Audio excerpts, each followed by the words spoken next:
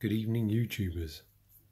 So this is uh, part two um, of the videos I'm doing around developing a gel electrolyte. This is actually a reshot part two um, as I accidentally deleted uh, the one I uploaded the other day, but never mind. Um, I'll just recap on some of the stuff I talked about then um, with some updates. So yeah, um, this is just a follow on really from the first video where uh, we're taking um, a gel made from glucomannan and calcium chloride and uh, mixing it together and see how that performs um, in a battery setup. Uh, so I've got some test cells here with some various mixtures. Um, and this is the current one that I've been testing. Now, the uh, probably the, the, best performing one uh, I've had so far was um, I can't remember which one it was, um, but it was one that had about 20 milligrams of glucomannan and about six grams of calcium chloride. Uh, I've got the curve on the screen here. So just to recap, I've got my um, load tester set up now. That's ready to go, plugged into the laptop. So this is the one you can get for around £15 here in the UK uh, from places like eBay and AliExpress. Well worth doing because um, you can get some really good data out of this. And obviously, it's always good to kind of uh, uh, log all your tests and because, um, well, to be honest, half the time you forget to write things down and uh, and you can never remember what happened.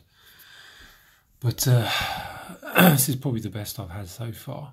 Um, so if you look on the curve, um, you can see that it's kind of follows a bit of a battery curve. So you have this um, kind of pretty flat line going across, which is probably around 0.6 of a volt, and then it kind of tails off and then completely dies. But this is um, using a 10 milliamp load, um, and it ran for about 20 minutes. Now, there's some weird stuff going on here that I don't quite fully understand, and it seems to get worse um, the more kind of uh, calcium chloride you're adding to the cell. And it's this thing here.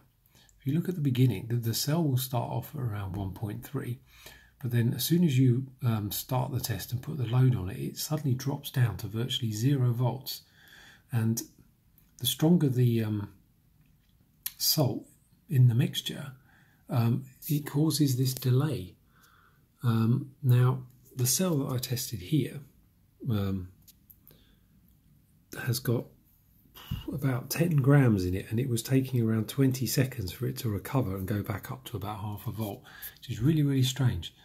Um, I mean, here, for example, um, it recovered quicker, but there's obviously about half the amount of salt in the cell. Um, and also, the less you put in, um, also it seems to recover quicker as well. So there's definitely something weird going on here, which I don't quite understand yet. But yeah, as you can see on here, power-wise, um, it's coming up as 4 milliamp hours, so I'm not exactly breaking any new records with this, but uh, you know, this is really just about trying to get the mixes right and then start putting in some additives, um, active materials, that sort of thing to see uh, if we can boost that number. But yeah, interesting nonetheless. Uh, the other thing that's got me slightly concerned is um, these cells that I talked about a few days ago um, and posted on the video, which I accidentally deleted. Um, these have been sitting around for a while now, and if you kind of start to look at the what's going on in there, you can see there's all kinds of bits and pieces floating around in there. I don't know if you can really see that, but what is always worrying, um, you can see that there's um, some kind of corrosion going on there uh, from the copper, so that's kind of dissolving in the solution. Similarly with the aluminium, it's not in particularly good shape either. So yeah, there's definitely something um, affecting the mix. And it looks like that obviously the stronger the salt, uh, the more it's kind of rotting those electrodes. So um, it's almost like if it's completely saturated, um, that's probably not a good thing but yeah. So I mean that's it for now really. Um, just uh, while I'm here, I just wanted to uh, mention the um, source of the glucomannan, um, and this is what you can get here in the UK in Poundland um, by a, a, company called Forza. They, they, sell it on the shelf. This costs one pound and you get 15 capsules. If you look at the back of the ingredients, you can see glucomannan, a thousand uh, micrograms, so about one gram per capsule. And as I said, if you mix that with uh, 50 mils of um, distilled water, you get quite a nice uh, gel like solution that you can then start playing around with. But yeah, that's it really. So um, yeah, we'll see you soon. Take it easy.